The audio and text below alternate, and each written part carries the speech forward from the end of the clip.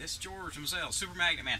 I know a lot of you have seen my demonstration on the braking system using permanent magnets, and it occurred to me after putting it up that you might actually want to see it work, and I had a couple of comments on that, so I wanted to give you a demonstration. It took me a couple of days to get it lined up so it's balanced again, because the last time we used this was about five years ago. So here's what we're going to do.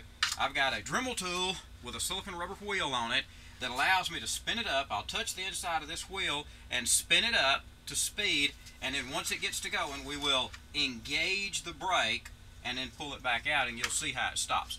Watch along as we get this going.